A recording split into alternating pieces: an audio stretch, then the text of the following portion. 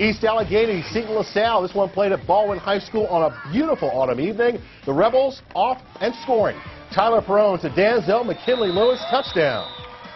East Allegheny working its way back in the game. They decide to fake the punt on fourth down. Lamar Jones keeps it, and he gets the first down. The drive, though, would stall. Seton LaSalle back in the attack.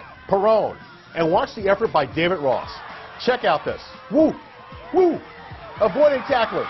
Down the sidelines on third and 14. It is a touchdown. It is 14 0 Seton LaSalle. And the Rebels are far from done.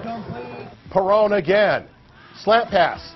DeQuay Broadwater gets some nice blocks, turns it up the field into the end zone. Seton LaSalle with a shutout tonight, 36 to nothing.